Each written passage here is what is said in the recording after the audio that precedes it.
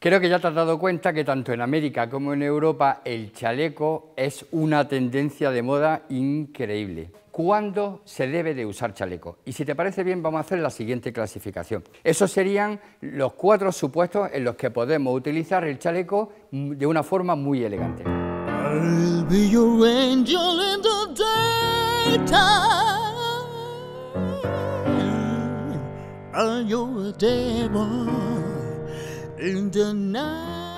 Entramos en el estilismo casual, pero con americana o saco. Aquí es cierto que ya rompemos las barreras porque es un estilismo mucho más casual y podemos utilizar cualquier modelo de chaleco como los anteriores que te he comentado, pero además podemos utilizarlo eh, provocando una serie de combinaciones que realmente pueden quedar muy elegantes.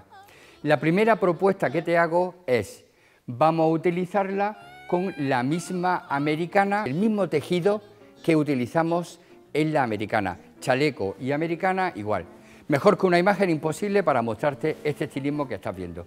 Como verás, la americana y el chaleco son del mismo tejido. El segundo estilismo que te planteo es utilizar el pantalón y el chaleco del mismo tejido.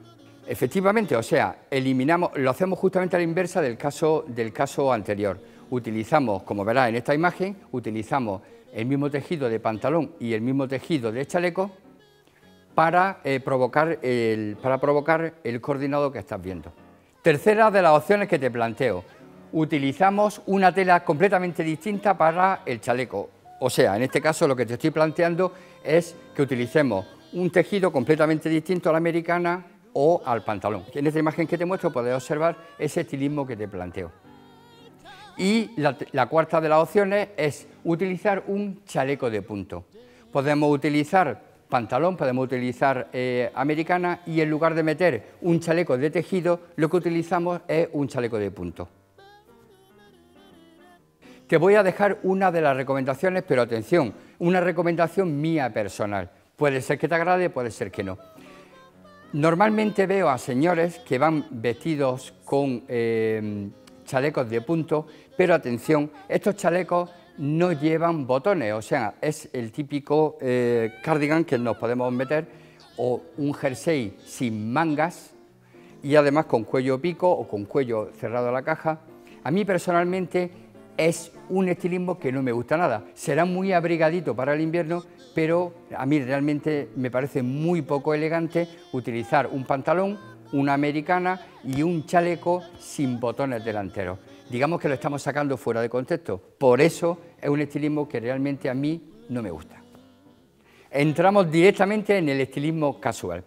Si has sido muy observador, te habrás fijado que todas las imágenes anteriores que te había puesto, siempre hemos puesto corbata en las imágenes, de, en las imágenes que han acompañado el vídeo. Bien, llegamos al estilismo casual y ya podemos directamente eliminar la corbata.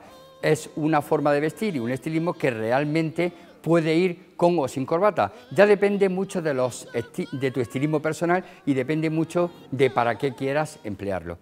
Pero eh, lo importante es que no tenemos unas reglas muy estrictas para centrar el chaleco eh, de una forma casual con una norma muy encasillada. Realmente aquí juega mucho esa capacidad que yo siempre te digo de que poco a poco vayas eh, innovando, vayas haciendo pequeños experimentos para que tú eh, delante del espejo veas si el estilismo está muy acorde con lo que tú quieres transmitir o no.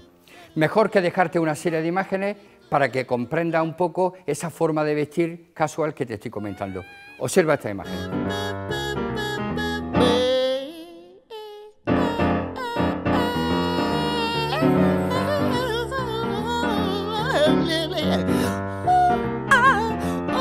Entramos de lleno en el mundo de la ceremonia. Novios y padrinos siempre les recomiendo que utilicen chaleco. Nunca utilices el chaleco de tu boda para ir a la boda de otra persona. Soy un señor con poder económico y tengo caballo.